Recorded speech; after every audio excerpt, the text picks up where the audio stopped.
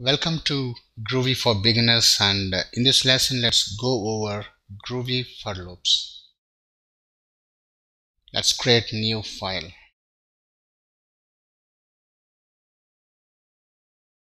Let's begin with classic for loop which is same in Java as well.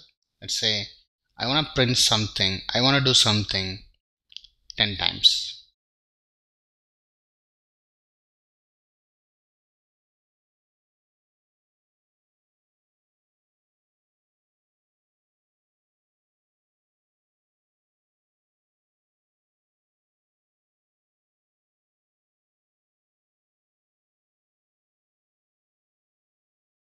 Okay?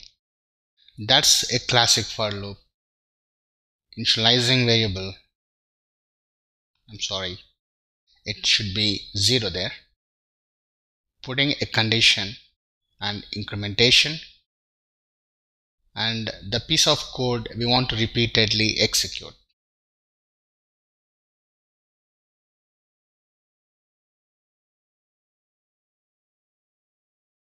it has to print java home 10 times. So in case if you want to include the uh, value there let's say I want to say java home 0 1 and so on I can take help of interpolation. We'll discuss more about interpolations in a separate video but if I want to access any variable within a string I can use the interpolation dollar open close curly brace and the variable I want to use there. Okay now let's clear the screen and re-execute this of course right? So we're able to print java home with dynamic values from 0 to 9 that's classic for loop.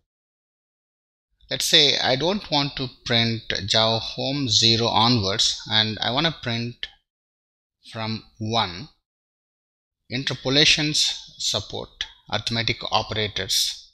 Inside that I can use i plus 1 in first iteration i is 0 plus 1 1 and your logic will change now right? Exactly. Yeah that's about uh, a traditional otherwise a classic for loop so Groovy has different types of for loops. And the next one I want to introduce is let's have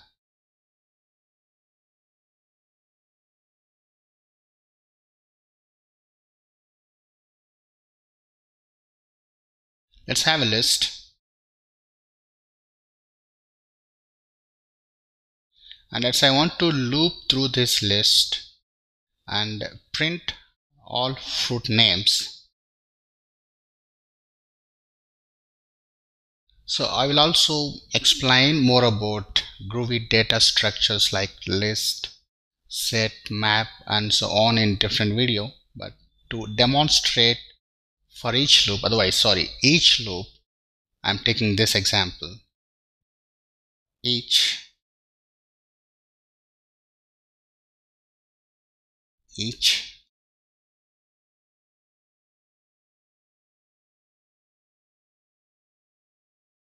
let me first execute that. Exactly. It's printing all the values in the list. This one is a each construct. Uh, each actually is a method. It's it's pretty much like this. To that method I'm passing a closure. Okay to simplify the syntax, we can avoid using parentheses.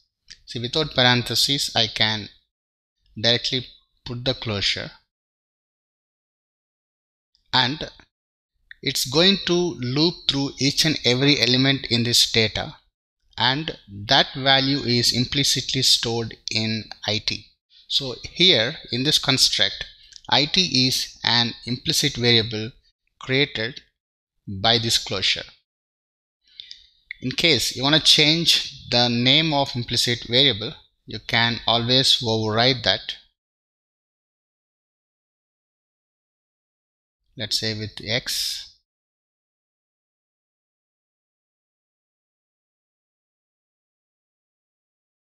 Okay. So if you want to have a different name with instead of having default name which is IT you can use this syntax and have your own custom name there. And even if you want to have little good output saying fruit name is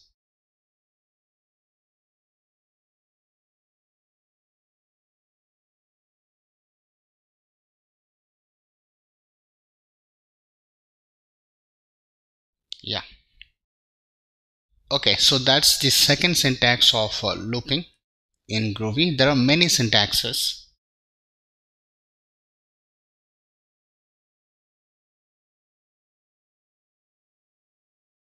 This is third one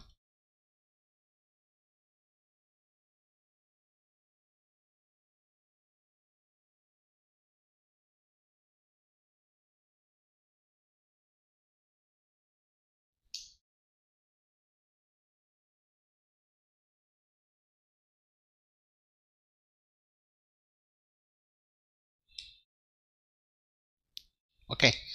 This is one more way of uh, looping through a list of elements in Groovy.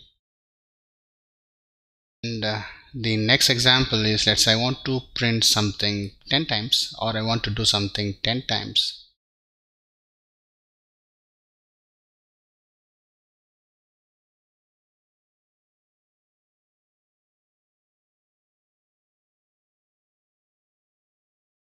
Okay. 10 dot times. Times is a function here. To that function I'm passing this block.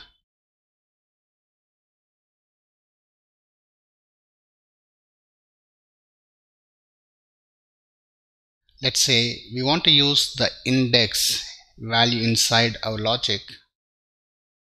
It could be dollar $it which is again an implicit variable which will hold the index of current iteration.